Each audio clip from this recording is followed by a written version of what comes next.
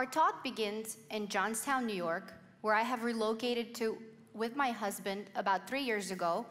Um, at the time, we had about two and a half children, and as a generally responsible, mildly pregnant individual, my first inclination was to contact the local medical practice in order to find a family doctor and pediatrician at our new county of residence.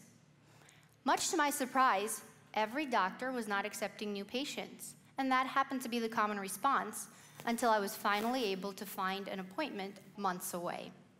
This is the family my husband, our two lovely daughters, and baby Michael, much like any other family in Fulton County.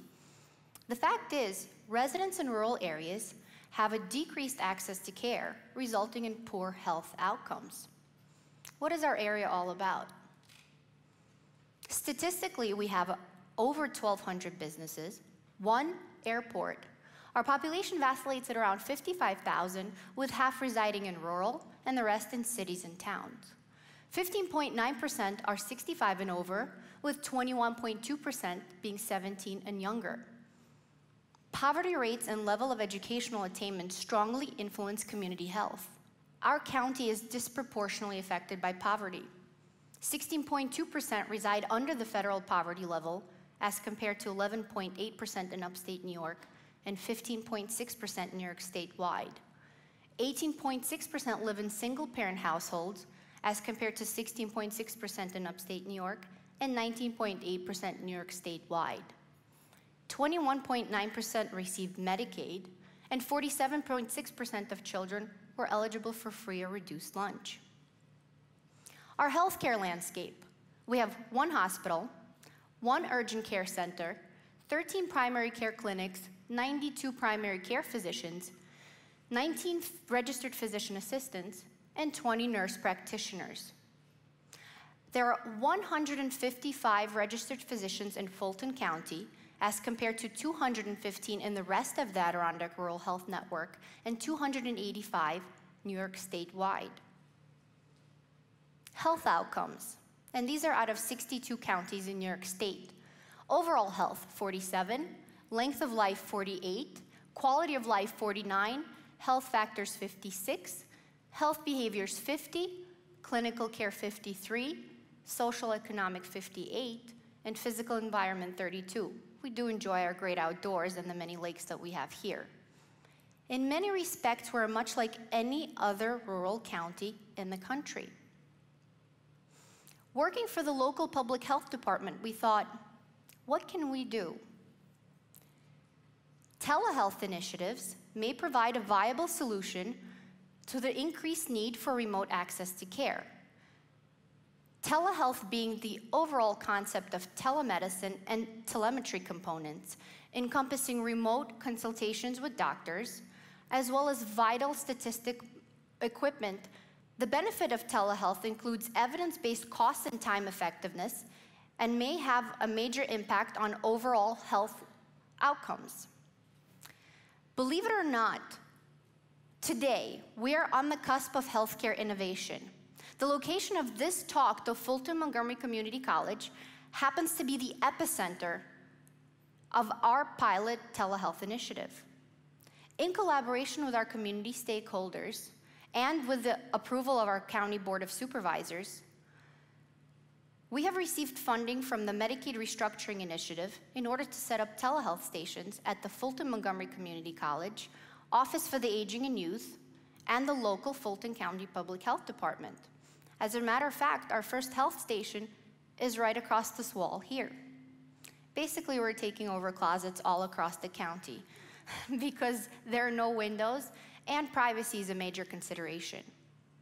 An encrypted HIPAA-compliant platform will be utilized to connect our county residents in real time, not a store and forward technology, to a doctor at the Nathan Littauer and St. Mary's hospitals, or any other provider of their choice. The server will be housed with the Fulton County IT department for neutrality.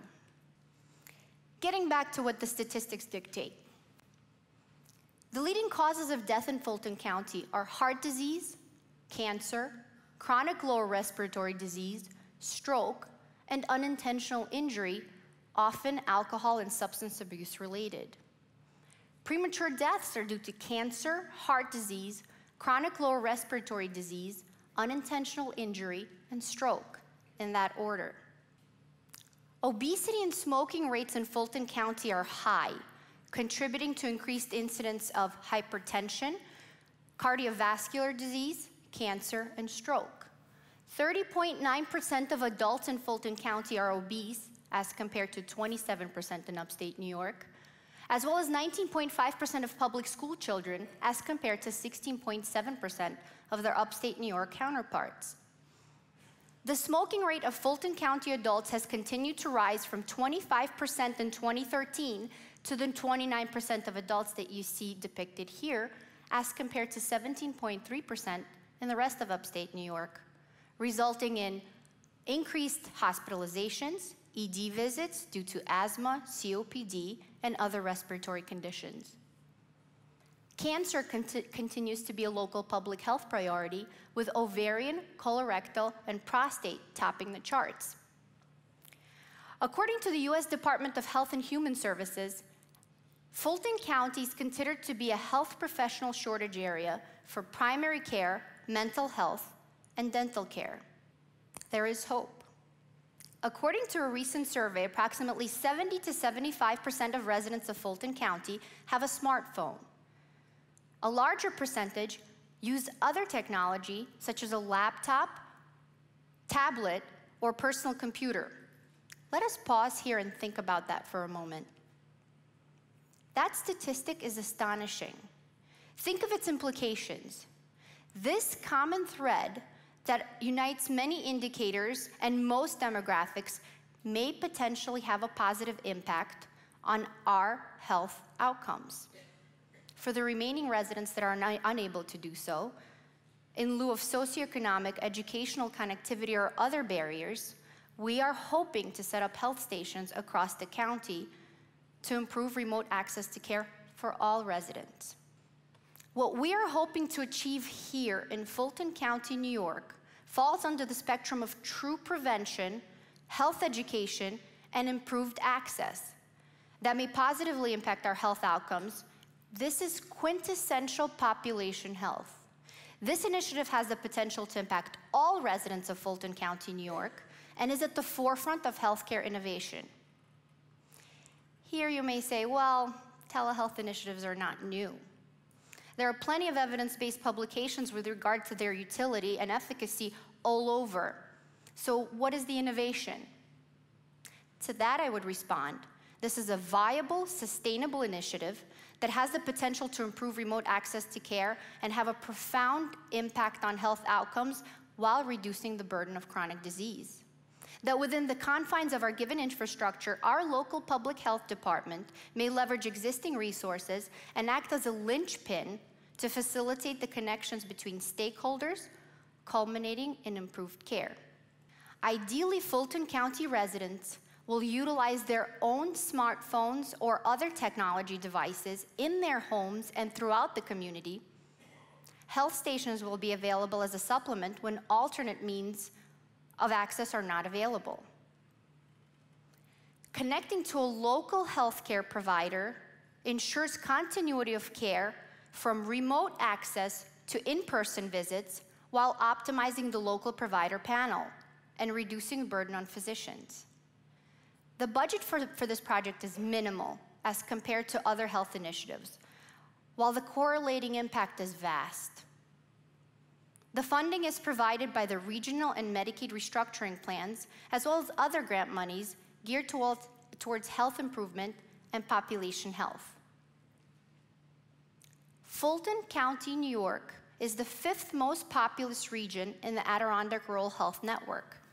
As you now know, it is a rural area with restricted access to care due to a limited provider panel, remote location, and over, overall low population density.